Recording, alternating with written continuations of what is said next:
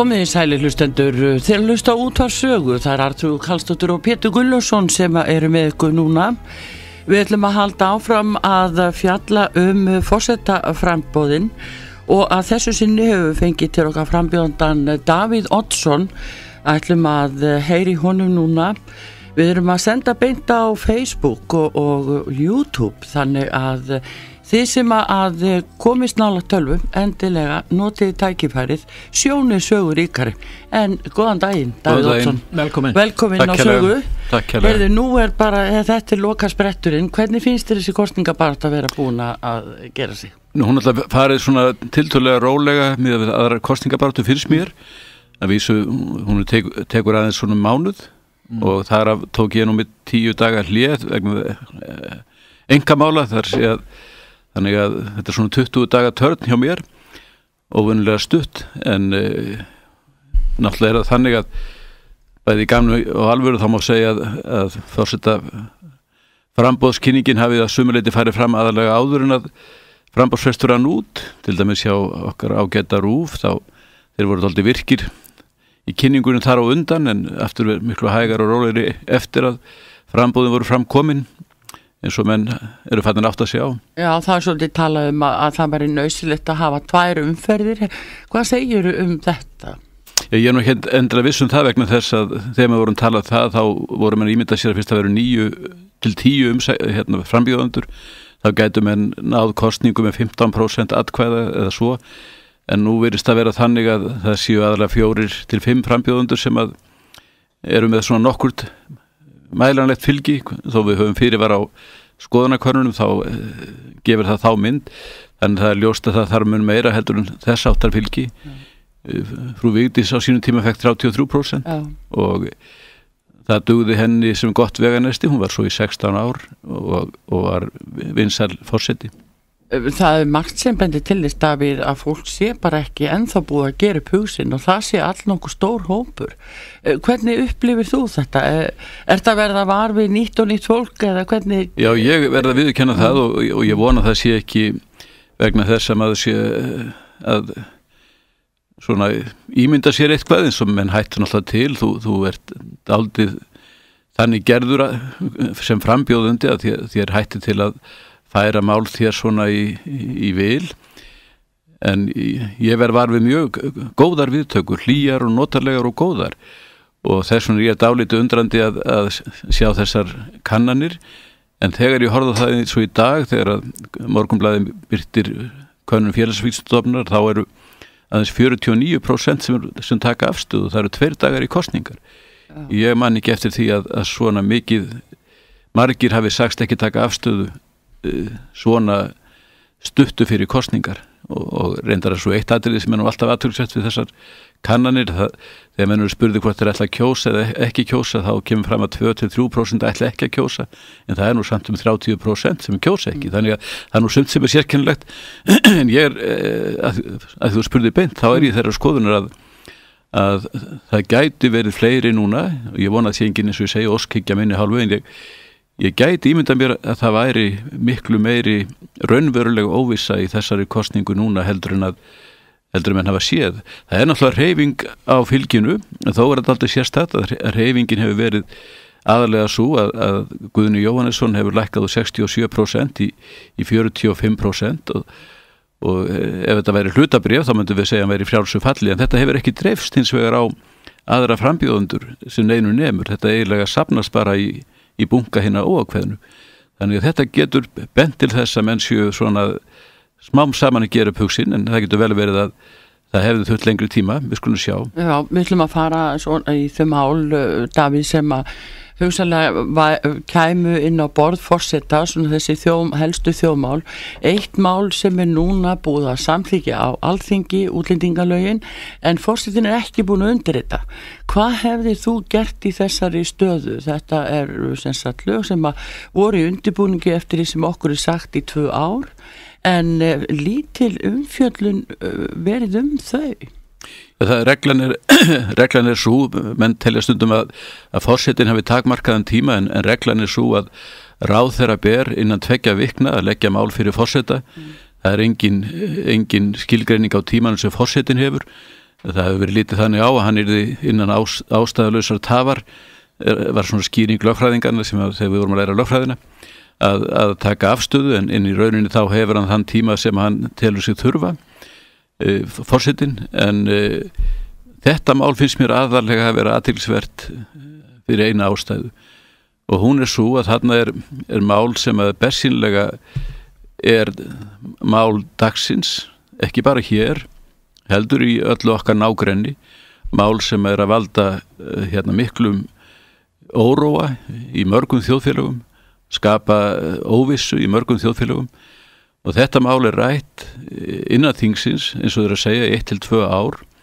Og svo skindilega í, í eh, lógt þings þá saminast allur þingheimur um það að afgreða þetta mál umræðulegst og ég held að ég sé dálítið eins og allir aðrir að vita ekki nákvæmlega um hvað þetta mál snýst. En mér finnst hins vegar dálítið undarlegt að máli skuli bera þannig að þjóðin að kannski langstæstu lutennar veit ekkit um hvað það snýst í rauninni, hefur á tilfinningunni að, að mennsju að íta málunu á undan sér og það sé frekar uh, með svona fortíðar uh, fortíðar lausnir heldur en það er lausnir sem er að horfa til annar staðar.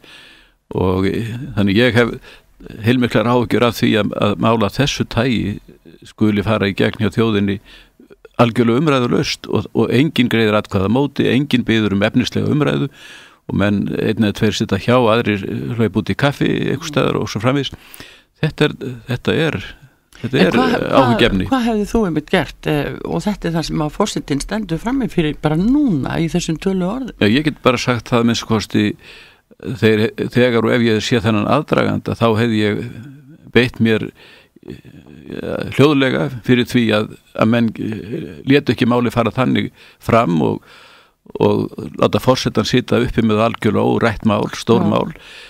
Það er náttúrulega gert hannig að, að það er hægt að segja að það sé ekki gjá að mellir þings og þjóðar því að það hefur engin kalla fram þá gjá. Það hefur engin umræða orðið um þetta stóra Nei. mál.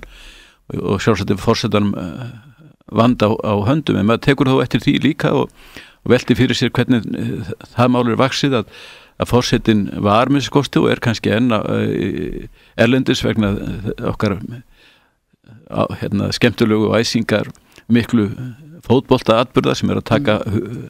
hug okkar allra fangin en við þær aðstæður þá uh, gæti í sjálfu sér ráþæran sem ég hlut á beint málunni til handhafa fórsetavals það veri frólægt að vita hvort að fórsetin hefði óskað eftir því sérstaklega. Handhafar afgriðum málið ekki í fjaraveru hans því að það, það er nú þannig að handhafarnir eru ólíklegri til heldur um fórsetin að beita sínuna valdi, það verður aldrei held ég, já kannski einu sinni í einhverju dæmi komið til að, að hann hafi, hafi velt fyrir sér að, að sinja lögum staðfestingar, þetta sem ég best veit.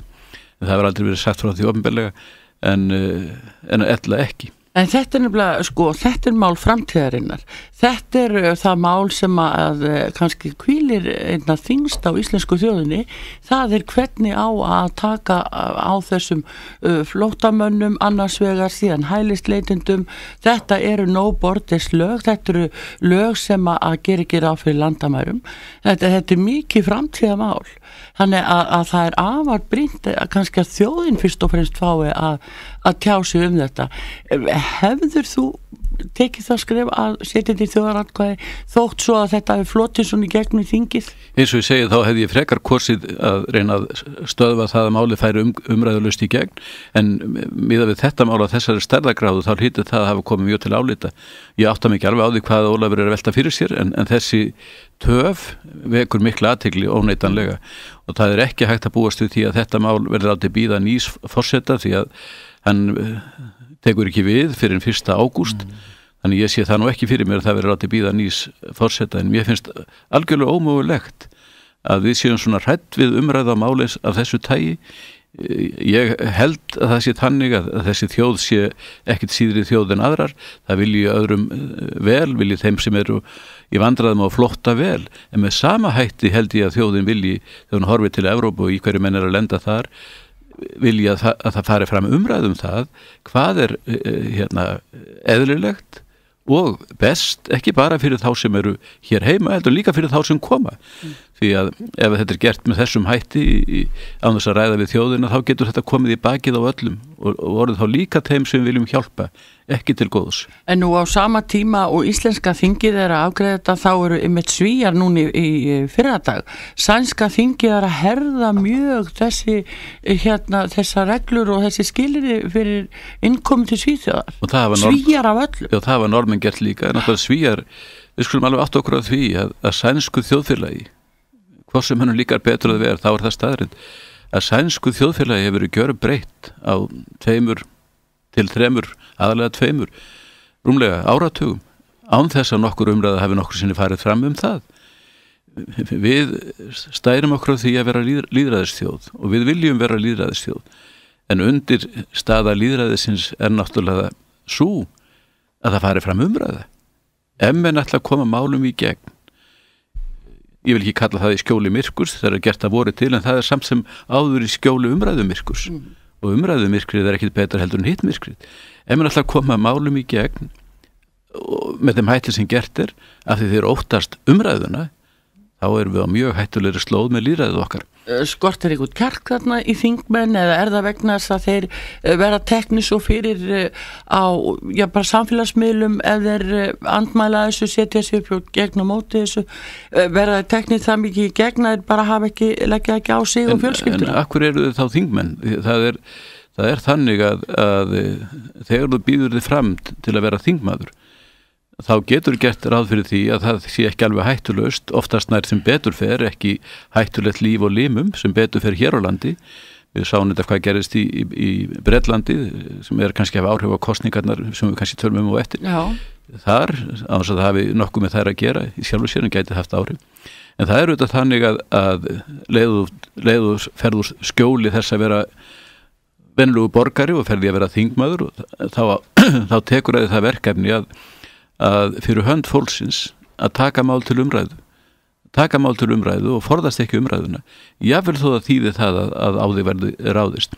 Og ég finn það svo sem í, í, í minni kostningabaróttu núna sem ég hef ekki verið í kostningabaróttu verið áratug. Ég finn það alveg að, að það hefur dugatölvert vel að plæja jarðvegin með öllum uh, þeim umælum og gauragangi sem hefur fallið í mingarð á hans að ég hef svarað í í kannski næstum því einn eða tvo áratví og ég vel lengur. Þannig að það er vona að fólk sé passi sig og vil ekki draga sjálft sig og, og, og, og sitt fólk inn í slíkt. En það er samt sem áður þannig að þú getur ekki gert hvortvekja. Þú getur ákveðað, og það er skilinlega ákveðin að fara þá ekki út í það að verða fulltrúi fólksins, þú getur tekið það ákveðin. En ef þú tekur það ákveðin að verða fulltrúi fólksins, þá máttu ekki hérna, vegraðir við umræðunni Veitu, hvað er þá eftir til að tryggja einn líðræðslega grundvöld Líðra, grundvöldur líðræðsins er umræða. Davíð, uh, þú varst lengi formaður sjálfstæðisflokksins mm -hmm. og, mhm. og í fóristuflokksins stiður fórista sjálfstæðisflokksins þig núna og formaðurinn þar á meðal? Já, hann, eh, ég hef ekki talað við hann neitt um þetta efni en, en eh, hins vegar þegar ég var að segja frá því að ég færið þetta frambóð það var á sprengisandi Páls Magnússonar þá hittust við þar fyrir utan ég vissi reyndar ekkit að hans væri von og hann sjálfst ekki þess að mín væri von og þá var hann spurður af fréttamönum um þetta og, og, og þá sagðan að, að þegar að svo væri háttaði til, þetta er nú ekki nákvæmt orðalag sem ég hef eftir honum en ég held að hann hefði sagt að þegar svo háttaði til að, að formaður, fyrirvændi formaður hans floks væri komin í frambóð þá myndi hann auðvitað styðja hann ég heldur reyndar hann að við þá ekki átt við annað heldur en það myndi vendalega greiða aðkvæð með mér í kjörklefan en við höfum ekki talað saman síðan og ég hef ekki gett neina kröfu til hans og ég hef reyndar ekki gett neina kröfu til sjálfstæðismanna vegna þess að ég tel eh, að þó ég sé fyrirvændi formaður sjálfstæðarflokksins þá eigi ég enga kröfu til flokksmanna þegar ég ákvað persónlega bjóða mig fram í, í, í þetta ennbætti og það, ég hef oft verið að hugsa um það kannski eru sömur félaga minna og, og samherjar gennum tíðina undranda á því að ég hef ekki haft samband við neittera mm. og beðið um stuðning. Ég hef ekki beðið nokkur einasta mann um stuðning. Ég hef ekki gert það. Að því mér finnst þetta að vera þannig frambóð maður er að bjóða fram, sig fram til starfs og eh, ef ég væri uh, flokksfórustu en þá þá myndi ég býðja menn um stuðning en ég hef ekki beðið menn neitt um stuðning. Ég bara býð, býð það fram að menn skoði minn feril og, og, og, og mína personu og mitt, mína þekkingu, mína reynslu, mitt skapferli og og mína samfæringu og ef þeir haldað að, að þessir eiginleikar og einhverju aðri passi í fórsetæmbættið mm. þá er ég þakkláttu fyrir þeirri myndi kjósa mig en ég á ekki kröfu til eins eða eins og ekki heldur til sjálfstæðismanna. Nei, þú átt ekki kröfu en sanga þessum könnunum þá verðist að vera þannig að helmingur sjálfstæðismanna stiður þig ekki í þessum kostningu Já, það... Hefur þú skýring á því? Nei, ég svo menga skýring á því að aðra þá kannski þá sem við rættum á þann að, að það eru helmingur sem er ekki búin að gefa upp sína afstöðu. Já og reyndar eh, eh, hef ég nú þessum hópi síst á þessum konunum ég hef þetta mestan stuðningin allra frambjóðanda já, úr já, þá sem, sem merkja sig þannig. Gunnar Tóruldsen fekk 34-5% atkvæða 1968 og flesti sjálfstæðismenn kusu hann, tel ég Það var enda stór, stór, stór hópur sem var í anstöðu Já, Pétur Benediktsson. Já, og margir, það, það, voru, voru nágættir kuningar mínir sem voru þá í og, og vinir þá sem voru þá í, í vinnu með Kristjáni gegn Gunnari. Þú varst nýkomið með kostningar eins, eins, eins og Magnús Gunnarsson og Þorstein Pálsson þeir, þeir voru báðir að vinna fyrir og, og fleiri, vinna fyrir, fyrir, fyrir Kristján. Og það var auðvitað að vita að það var reyði í hluta flokksins, menn voru meiri flokksmenn í þann tíð, Já. heldur menn eru núna vegna kostningarnir, á, kostningarnir um áskjör og sér að bjarna þetta satt í mönnum mm. og, og e, þetta var svona öðruvísi kostning þá og það sem að auðvitað bytnað á Gunnari e, Tórótsen var það að hann var tengdasónur fórsetans og því var haldið fram að, að hann hefði lengi ætlað sér þetta að verða fórseti og, og, og, og hans góða og fallega kona hefði ætlað sér þetta líka og menn vildi ekki að þetta gengi í erfiðir eins og konundæmi, það, það var fullt af hlutin sem voru notaðir þá en, en, og sjálfstæðarflokkurinn gekk ekki eh, heil til þeirra kostninga en það eftir 52 þá hættu fórsetakostningar í raunin að verða flokkspolítískar. En Davík, hvað finnst þér að sé mest nota gegn þér? Já, það er náttúrulega það margvíslu sem ég kalla nú hinnlega ró en, en líka svona afflutning. Það, það, það hafa verið mjög fjársterkir aðilar með menn og launum all lengi við að, að, að sækja minni personu Þetta þá að tala um útrásagengi? Já, það er það, það er það, menn þekkja það og sjá það hvernig það verið gert. En auðvitað er líka þannig að, að pólitíst hafa menn, höfðu menn það hortni síðu mín að ég hafði haldið þeim lengi utan við málinn hjá Borg og Ríki, ég hefði verið sigur sæl í pólitíkinni, ef svo má segja. Mm. og menn töldu, mig, töldu sig eiga harmað hefna pólitíska og, og það, auðvitað bý ég enn við það og ég hef lengi verið utan uh, stjórnmálana þannig að ég, býst við að það hafi nú sitt að segja í, í þessum efnum eins og gengur. Nú til dæmis Davíð, nú var að þú við hruninu sem við höfum nú rættu áður og heldur Belinis að þessi öllu óttist það ef að þú verður fórsiti að þú getur bara stoppað ákveðin mál sem að öðrum kosti getur unni í gegnum þingið. Það var mjög skostið þannig eh, og kannski eru, eru fleira og fleira að, að, að sjá það það var þannig að það Pétur var nú að nefna og, og þið voru að nefna að maður getur fengið hérna, á sig alls, og þú varst að nefna það að trúður að maður fengið á sig alls konar hérna árásir eða, eða þú tækir afstöð og svo frammeins mm. og þegar ég var að andæfa því frá 2006-07 bæða í ræðum í viðskiptaráðu og svo vissu allir það, ég var að gera þetta bak við tjöldin, ég hafði talað við bankarstjórun oft og yðurlega og þeir vissu það allir. Og ég var að andæfa því að, að menn færu þannig fram eins og þeir fóru að þá var auðvitað þannig að það, menn lögði á mig mikla fæð. Það var algjörlega ljóst og, og það var dálítið skrítið að svo í framhaldinu þá setti mér sér þar markmið að reyna að koma hérna ástæðunni eða sökinni á hrununni yfir og þann sem hefði varað við. Það var nú ansi hérna svona djörf til raun en hún hefði mjög öfluga menn á bakvið sig og það, það er selga einhver litið tekist. En hún erum við til dæmis sem að sjá hins vegar að eins, eins og þetta með kaupþingslán þá sjáum við hvernig það var bara í blöðunum í dag mm. hvernig það var hanterað eftir að við vorum að fara nú úr bankanum menn letu plata sig algjörlega með þennan FIH banka sem var, var þrefalt veð við, við það sem lánað var mm. á sínum tíma og svo eru menn að sjá líka núna frá alltíðu gældirisjónum að það er ákveðin sem voru teknar að frumkvæði selabankans undir minnistjón og neyðarlögunum eru til þess að, að Ríkisjóður Íslands tapaði ekki neinu og menna auðvitað síðan að selabanki stóð keikur algjörlega keikur eftir fjárhastlega mm. eftir þá atbyrju sem þá voru það var allt undir, undir minni stjórn. En samt voru menn að fara í, í, í þessar allar þessar árásir? Já, en kannski ymmið þetta, talandi um þetta Davíð, að þegar menn taka svona ákvarðanir og, og jáfnvel eh, sem vonir fólk, jáfnvel skilur það ekki og ekki ástæðuna fyrir þeim að þegar það eru teknar mm er, er það kannski eiginlega svo í útreið ef ég mætti nota þór, svo mm -hmm. útreið sem menn fá fyrir að taka ákvarðanir veldur hún kannski því að menn bara þóra ekki, þeir bara frekar vilja vera svona svo kalla farsælirinn og þingi, ekki segja neitt, ekki hafa afstuði neina heldur fljóta meira með. Og þar lendi segir fólki að hérna þingið gerir bara ekki neitt. Já, þetta er, þetta er alveg rétt. Þetta, Svo einföldu mynd Já, en... þetta, þetta er bara því miður alveg rétt og, og ég hafði nú ekki hirt það eftir þetta henni móður minni en presturinn sagði það nú í jarðaförunni að eftir henni hefði verið haft bara til dæla nýlega að hún dó þá hafði hún sagt sem svo er, hvernig stendur á því að allir þessi pólitíkusar eru núna algjörlega ópólitískir? Og, og, og þetta hafði gamla konan sagt og var aldrei rétt og til í þessu hjá henni því það, það er eins og það skapist einhver stemning um það að menni er bara allir að vera og róa á, á sama borð hversu vittlusinn stefnan er ég var, ég var auðvitað ekki þannig týpa og, og, og ég, eins og menn vita alla tíð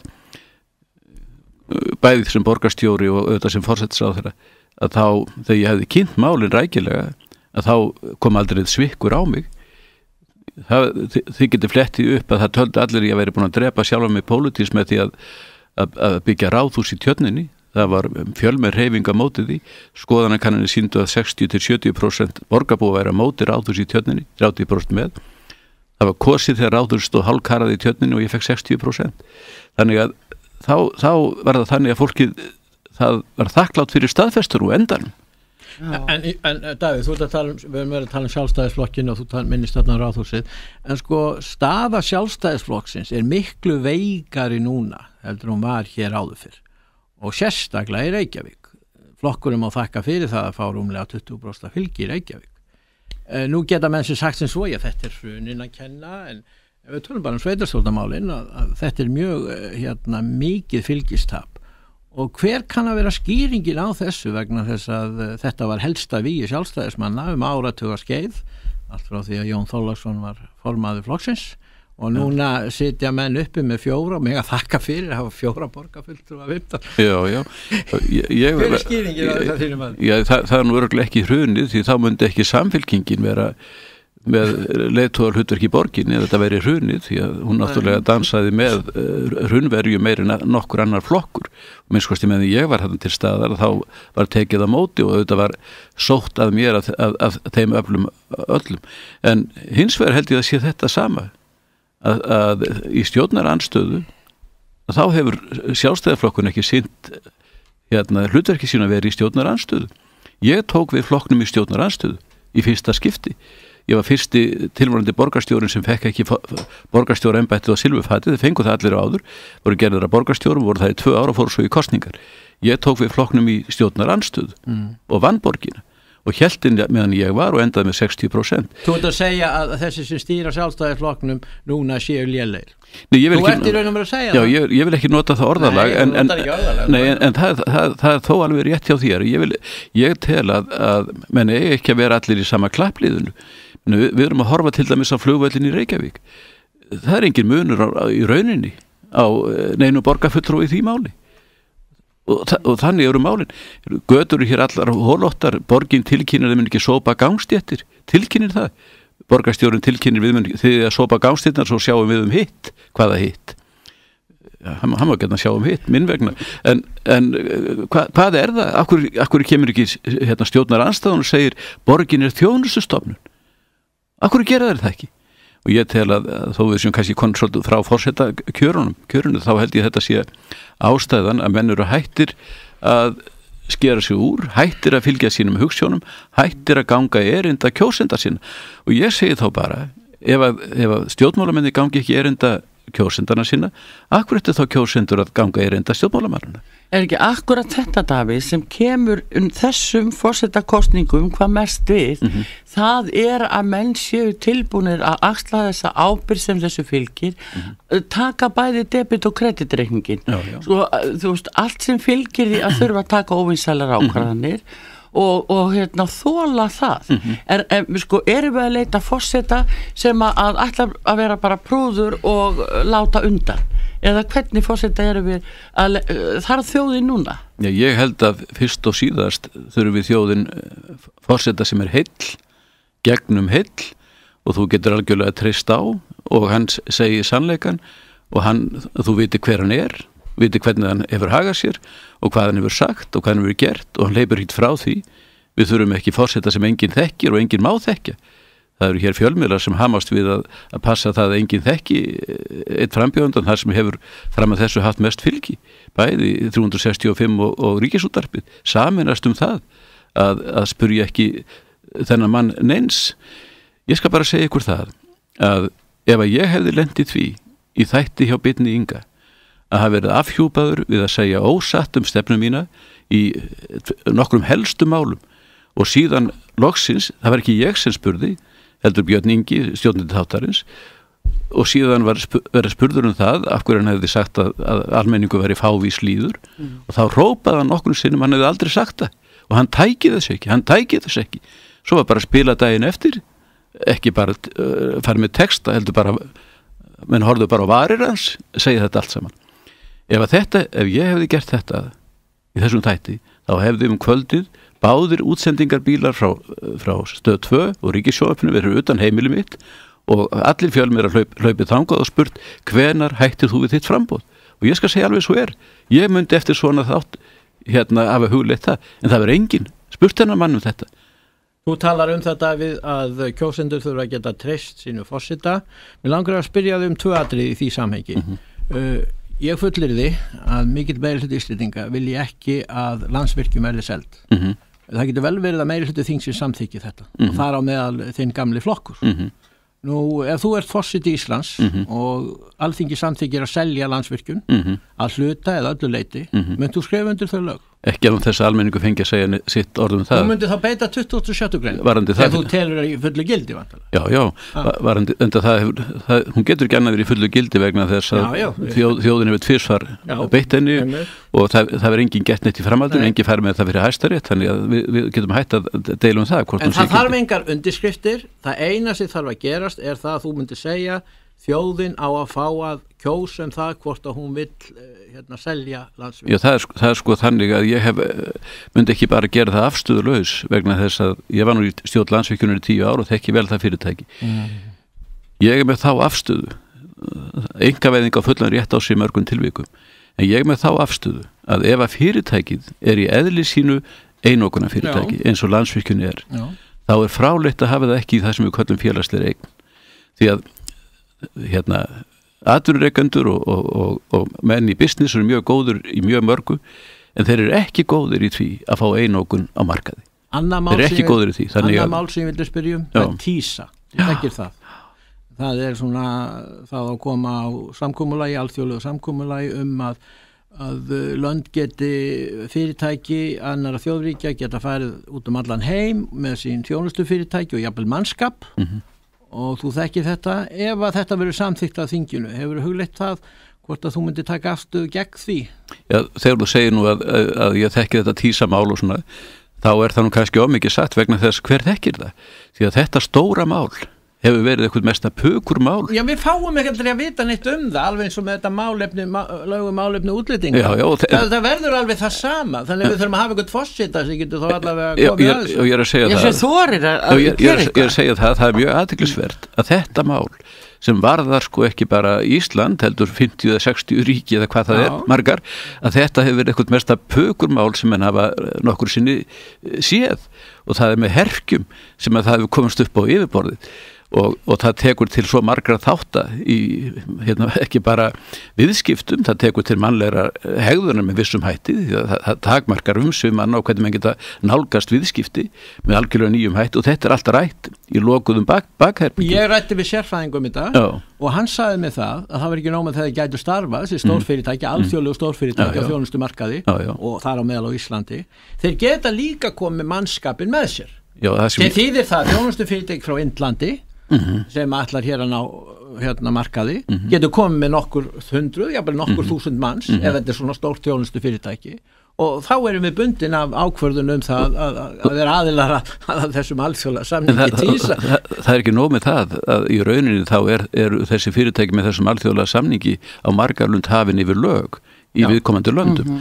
en, Skattalega og, og, já, og, og þess vegna það sem ég finnst og auðvitað er ég búin að gleyma miklu sín lærði lögfræðinni reynda að segja um einhverjum að þá verðum við bestu lögfræðingunum þá verðum búin að gleyma öllu sem að lærði og ég er komið langt með það en, en auðvitað er það þannig að, að ef þú ætlar að setja einhvern alþjóðlegan samning sem í rauninni undan þykkur stóran hluta mannkinsins lögum í viðkomandi landi þá er afska- afskaplega skrítið að heyra það sagt í þinginu að það þurfi engin lög til þess að staðfesta þennan samning það sé að vera heimild ráðherra. Ráðherra skrif undir hann og svo verður því fyllt eftir með þingsálutunartillu og þingsálutunartillan kemur aldrei til staðfestingar fórseta önnumál en þó þessu sannlega skild Eh, kostningar í Bretland í dag með eða móti Evrópusambandinu, þetta er mikið hittamál, kann að hafa meiri áhrif eh, á jafnvel okkur Íslendinga heldur en í fljótubræði veriðist, alveg saman hvaða niðurst að fæst, hvernig svona er þetta að upplifa þetta? það virtist vera þannig lengi vel að þeir sem að vildu óbreytt ástand eh, ef svo má segja að þeir hefðu mikið, verulega mikið meiruluta stöðu meiruluta, svo kom eh, svona þegar var svona kannski tvæð þrjár vikur í þessa kostningu þá virtist þeir sem vildu segja sig úr Evropasamvættinu vera komin með nokkuð meiruluta núna hefur aftur snúist á hina hlýðina að mati um, hérna skoðuna kannanar fyrirtækja og reyndar hérna, veðmangara já.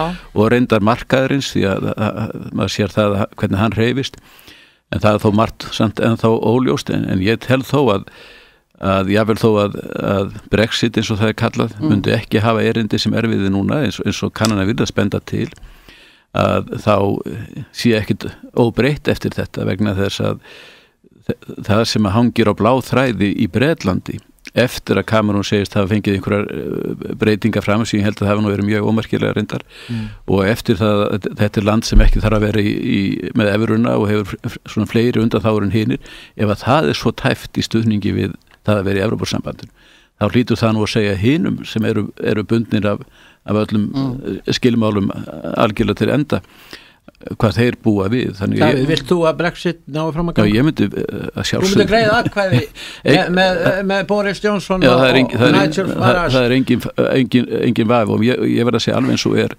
Mér finnst hérna áróður e, mennar, mennar sem vilja vera kjura vera svo sláandi líkur áróðunum sem var fyrir æsir samningun Mm. ég finnst bara, þetta er svona déjà vu ef maður segir svo, mér finnst ég vera endur heyra hérna allan áróðurinn sem þar framfór hér þá Mhm. eh, hérna frá Breitlandi núna. En kannski öfugt við okkur að þá, þá verist hann ætla að ganga. En David, David, ef þetta gengur þannig eftir að Mhm. þeir fara út, Brexit náu fram að ganga uh, hvernig, þau, þá þurfa Íslendingar að semja við þetta ríki, Bretland sem er okkar eitt mesta viðskiptaland? Mm -hmm. og uh, telur að það myndi hafa góð og hagstæð áhrif fyrir já, viðskipta okkar við útlönd Ég, ég held að þetta myndi, myndi hafa mjög hagstað áhrif á allan heiminn og, og viðskiptaríu almennt. Ég er alveg sammála því sem að, að, að hérna, Lawson fyrirvændi fjármála þeirra sagði þetta er eh, óskaplega skríti menn, menn telja núorðið að það get ekki færa fram einn viðskipti nema að það sé vi, hérna, viðskipta samningur millir ríkja, auðvitað fara viðskipti fram. Og menn er að segja að breyta sér að taka áhættu á því að detta út af 500 miljóna manna markaði, þetta er svo hver, hver hannu vittlesa og þessi tollmunur hann nú komið nýrið það að vera 23% hann breytir ekki öllu. Og auðvitað ætti heimurinn frekar þá að vinna því að, lækka svona tollmúra en ekki að gera það sig í, í brók innan tollmúrana þannig ég held að, ég held að þetta veri mjög holt fyrir fyrir heiminn. Og auðvitað getur vel verið einhver hagfræðing getur sagt að það kemur einhver dífa og svo framvegis, það kemur alltaf dífa kemur alltaf dífa út af hinu En það. akkur á þjóðríki undir högg að sækja. Það er ljóst að, að alþjóðavæðingin er í fullum gangi og uh, hvers vegna eru svona sterku öll sem að styðja alþjóðavæðingun? Við veitum að alþjóðlega fyrirtækin gera það því þau græða því en uh, hér innanlands er allans mjög margir sem gera það og hafa þó enga hagsmun af því að- eftir því sem það- öður. það er er skýringin á þessu? það er náttúrulega samt sem áður þannig að, að alþjóðavæðingin hún á mjögin stuðning í þeim sem að mesta peninga hafa Já. vegna þess að þeir starfa þvert á landamæri og, og þeir eru bara að hugsa um sína hagsmunni landamæri eru svona til vandraða í þeirra huga og en aðri geta að hugsa sem svo, jú það má vel vera í verðandi sem viðskipti séu landamæri án eh, til vandræða. En þau hins vegar geta skipt miklu máli út af mei, öðru megin þáttum sem aðrir hugsa um. Arþjóðavæðingi náttúrulega, hún hefur mikla kosti og allt það, en hins vegar það algjörlega ljóst að hrunið sem sumir hætti að bara vera hér á Íslandi sem það var nú ekki, að hrunið hefði ekki orðið svona slæmt og hrikalegt og óstoppanlegt í rauninni nema fyrir arþjóðavæðinguna og þannig menn þurfum að hafa þetta allt saman í huga En Davíð, hvað með þá sín eh, margra að það sé verið eiginlega baktra megin að reyna að sameina alla Evrópu, taka Íslendinga inn í þetta Evrópusamband með góður ítlu, með ákveðnu lagabreitingum sem að lítil umræða er um eins og útlýtingalögin og núna síðast var verið að leggja niður mannanafna nefnd. Eitthvað sem er svona sérkenni landsins mhm. er ju bara tungumála og nöfnin okkar og annað.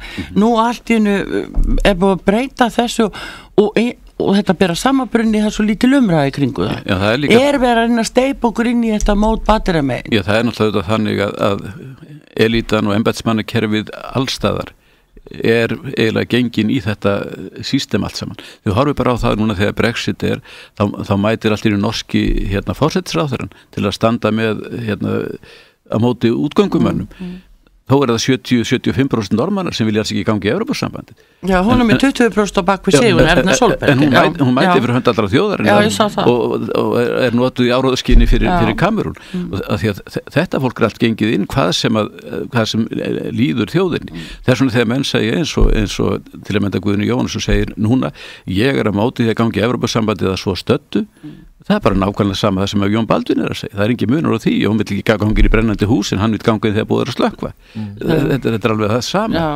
þannig að, og við skulum líka gáða því að Evrópussambandi hefur verið heiðalegt að því litið til, það er að segja fórustum með margir þar, að þeir er ekki að neyta því að þeir sé að búið til þjóðríki Akkur þurfa það þjóðsöng Akkur þurfa það þjóðfána mm. Akkur máttu ekki hafa þjóðfánan þinn uppi neðstæðar mm. nema þjóðfánu í Evrópussambandi sé við hliðina mm. og það, það, það skrifa allir upp á þetta það, þeir eru með sendiherra. Af hvernig þurfa þeir sendiherra? Við hlýðin á sendiherrum ríkjana af því þeir eru að gera sig að ríki.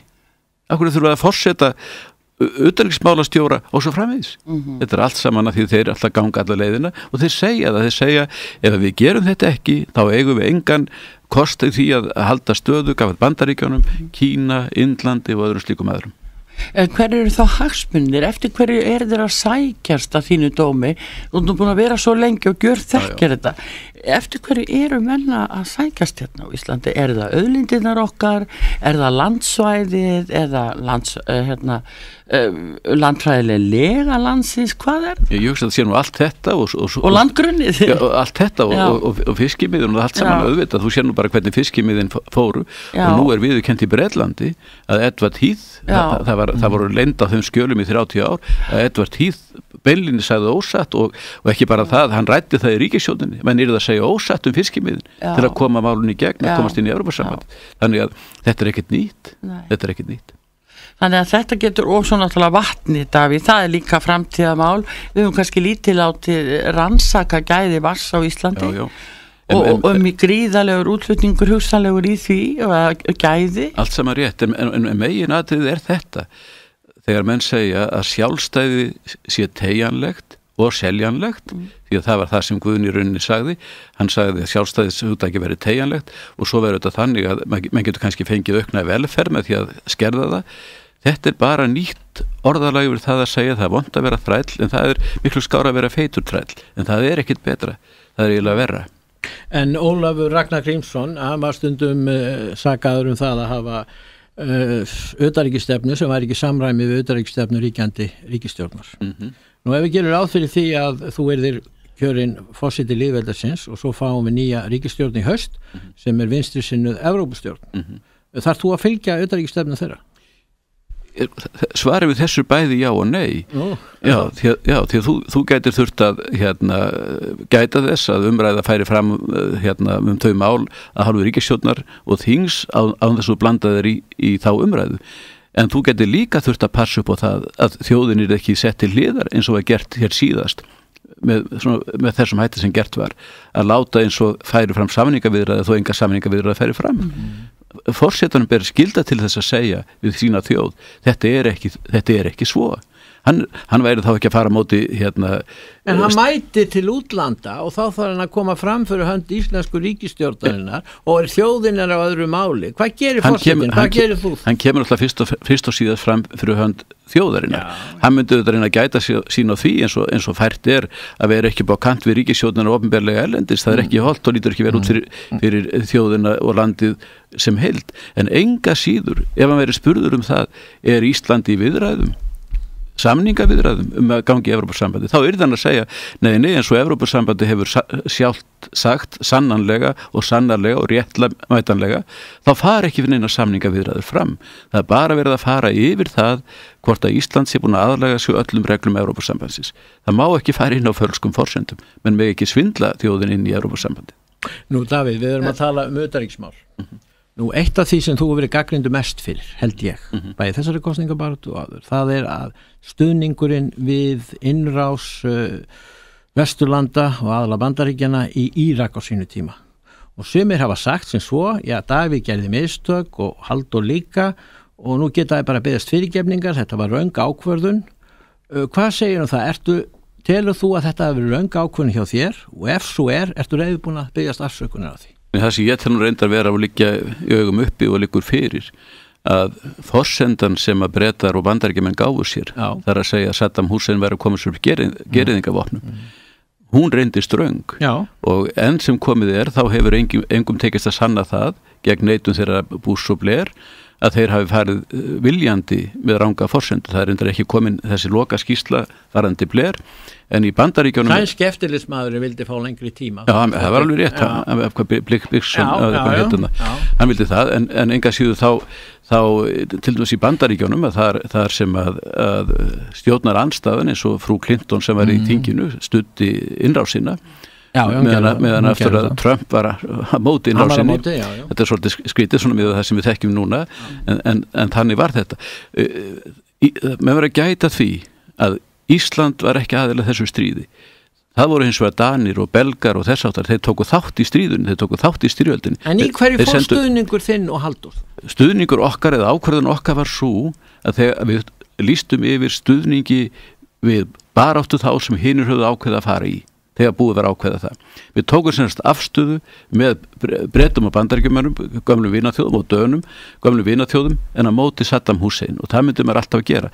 Og, þetta, og þessi ákvörðum var tekin ekki einhverju leiniða pugri í mars held ég að það verið hérna 2003 einum og hálfu mánuði síðar fóru fram alþingiskostningar og þetta var rætt daginn fyrir eh, kostningarnar í, í sjómarsal og daginn eftir fekk ríkisjónin áframhaldandi umbót Já, þetta er nota gegn þér. Já, ég veit, þetta er alltaf Þú veist að, þetta- að mikill meirhundu þjóðin er ósa Akkur er, kemur ekki til greina að segja bara sem svo Þetta voru bara mistök að gera þetta. Við eigum ekkert að vera að skipta okkar á svona málum maður getur sagt sem svo að maður verða samt að hafa þessa stöðu uppi. Og akkur er þetta tekið út með þessum hætti? Þegar vinstistjóðin, við vorum ekki aðeins þessu stríði, vinstistjóðin hins vegar Össur og Jóhann og lípi þeir voru, að, þeir voru aðilar að, Já, að, þeir, já. þeir voru aðilar. Og okkar, ok, okkar afstæða engin, hafði engin áhrif að það hvort við fórum í stríð gegn Saddam Hussein eða ekki.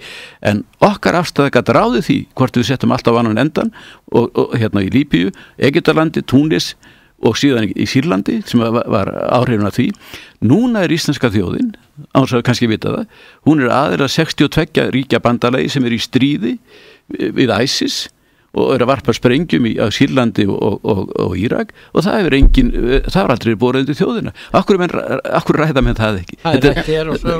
Já, þið kannski hefur rætt það, Já. ég menna þessi menn sem eru að tala um En er þetta ekki einmitt sko já. spurningin um, eh, sem við stöndum frammi fyrir Íslendingar að, að það er þessi samstaða annara þjóða sem eru þá eins og NATO. Eh, það er jú Líbíu málið og, og síðan núna máli viðskiptabann við rússa og, og það virðist á margan hátt af eins og að Evrópu þjóðunar og þá bandareikin sé að þrengja mjög að rússum. Og telur þú að það sé möguleik á því að þarna bara blossi upp að mjög alvarleg leðindi og, og svo vakt sér til orða tekið því að nú náttúrulega fundur hann í Pólandi núna eftir, já, ekki svo langan tíma, halva mánuð. Það virðist nú vera að það sé að uh, auka sundur þykja daldið millir bandækinn annars vegar og tiltekinn Evrópuríkja hins vegar í þessu máli. En maður tekur eftir því að þegar að uh, Evrópa ákveðun og að, að hérna, hafa framhald á þessum, þessum viðskipta þvingunum sem þeir kalla svo þá eru þeir enn að tala um það að það sé vegna þess að rússar tóku yfir krímskagan það dettur engum í hug upphátt að segja þó að rússar muni skila krímskaga. Það dettur engum í hug. Já, um og, það. og það er megin, það er megin regla varðandi viðskipta þvinganir að megin geti séð hvort það séu hugsanlegt að þær hafi sinn framgang að þær nái markið sínu og þess vegna geta menn ekki sagt sem svo að, að það er ekki fyrir að skila krímskaganum sem viðskipta þvinganir mm. hætta því þá verðum við með það næstu 200 árin Ríkistjóðin er með óskinsanlega stefni í þessu mála þínu. Já, það, þetta, er, bara, þetta var óskinsamlega á þessu haldið af hálfu Evropasambandsins og bandaríkjan og þeim sem að eldu það En metur það sem svo að við Íslandinga gætum hins vegar núna sagt þetta var það svo mikið íslenska hagsmunni Markas og, og, og útlutningsafriður okkar að við bara getum ekki stutt þetta af þeim forsendum Það getur- erum við þeirri for, Það getur vel verið að það sé stöðu? flóknar að, draga sig út úr því en, menn hefur ofta að segja það í upphafi að, að, og auðvitað er það þannig menn eru ekki þetta með þetta við krímskagan þó þið segja það. Þeir- Þeir ætla að sjá hvað þið get ekki náð einhverju bara orðalagi einhver staðar í, hérna, Kvítarúslandi og þessum fundum þar og eitthvað svona þeir mun ekki, þeir binda þetta við krímskagan, en það segja við ætlum að halda þessu eitthvað áfram segja þeir. Mm. Að halda þeir að rúsa er. Heyrðu, þá bara tími okkar bara senn úti, ekki nema það að gefa þér hérna loka myndunar að ávarpa uh, hlustendur uh, út á sögu sérstaklega, eitthvað sem þú vilt uh, koma með núna Já, sem við höfum ekki hvers komið inn vegna á. þeir ætti að kjósa þig? Já, já, ég held að þessu margar góðar ástæð til þess en, en, og Já, ég- þá færðu bara auka tíma. Já, þakka þið fyrir það. Já. Já. Já, ég, það sem ég tel vera að, þessar kostninga, stundum sagt að fórseta kostninga skipti ekki máli og engar kostninga skipti máli en þessar kostninga geta skipt miklu máli held ég. Ég held að sé mjög þýðinga mikið einmitt núna að menn kjósi fórseta sem þeir þekkja, vita hvað þeir hafa og er heill og hvort sem þeim hefur líka við allt sem hann gerði á sínum langa valdatíma í borgið eða ríki, það vita nákvæmlega hvers konar maður það er og það er mjög mikilvægt í þessum efnum að sá sem að situr á bestastöðum hann haldi ekki að, að sjálfstæðið sé tegjanlegt og seljanlegt það er mjög mikilvægt að hann sé maður orða sinna, hann hlaup ekki frá þeim og mun, stand, mun standa við allt, allt til loka. Aðeins svona áfram Ísland Davíð, ég verð að fá að tala við framaran og hérna, fyrst að maður nú sérstaklega komin í sko já, með, með hurðum, og, hurðum og kluggum Glæsilegur Eh, hérna, þetta var náttúrulega stórkostlegur árangur hjá liðinu okkar í gær.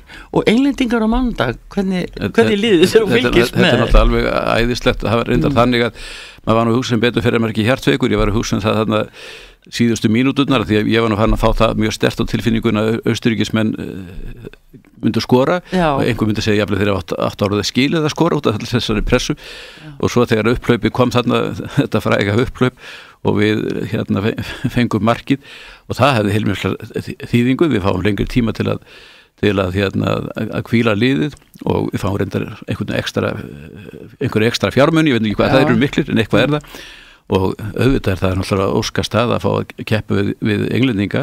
Ég held reyndar að það sé tölverð svona stemning fyrir því á Íslandi að ef að við erum ekki að keppa við englendinga. Og einhver aðri var að keppa við englendinga þá myndum við standa með englendingum. Já. En Nei, þetta er smá svona þorskastrís Já, tilfinning þetta, þetta er bara Ha, er það þetta, þetta, þetta, englendingar eru náttúrulega lið sem við þekkjum. Já, þannig þetta er afskaplega spennandi, þetta er Mm. næstu því eins og þetta sé svona tvö heimalið hér fram og valur, sko, Já. þetta er svona við, er og það getur allt gerst Mm. en við skulum líka minnast þess að jafnvel þó þeir vinna ekki englendinga þá er, eru þeir þegar sigurvegar okkar, okkar lið, þetta eru sigurvegar. Já, já. Þannig en, Það var nú frá Selfossi annars í Sigurður, það- hlaut að vera er Sigurður. það er ekki lakara.